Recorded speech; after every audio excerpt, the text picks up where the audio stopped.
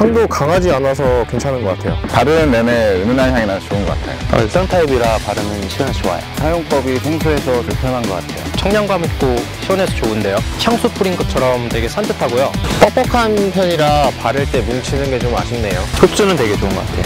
촉촉하기도 하고 바를 때 되게 시원했어요. 내 거 이름을 모르겠어. 근데 발림성은 되게 좋아. 가격도 좋고. 냄새도 되게 좋아.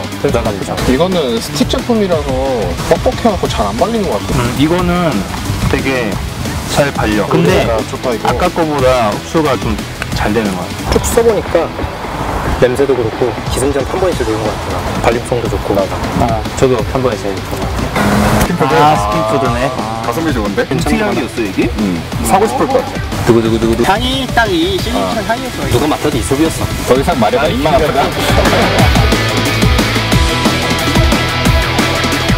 드라마틱한 효과는 없는 것 같아요. 땀을 흘려도 향이 계속 은은하게 지속되는 것 같아요. 향이 은은하게 퍼져서 기분 좋게 같이 운동할 수 있었던 것 같아요. 땀이 씻고 나서는 보송보송하고 좋았던 것 같아요. 좋은 향을 많이 풍겨주는 것 같아요. 샤워하고 난 직후의 향처럼 향수 냄새가 지속적으로 유지되는 것 같아요. 땀이 나니까 끈적이는 게 아쉽네요. 잔향은 바닐라 향이 좀 은은하게 나서 괜찮았던 것 같아요. 찌고 나서도 보송보송한 느낌이 있어요. 난 이거 향은 베스트 이거야. 이건 남자들 다 좋아하는 기본적인 향이잖아요. 아쿠아스러운 향. 네, 맞아요. 땀도 적당히 억제하면서 꾸준히 향도 좋은 것 같아. 섬유유연제 향도 약간 나서 프레시한 느낌?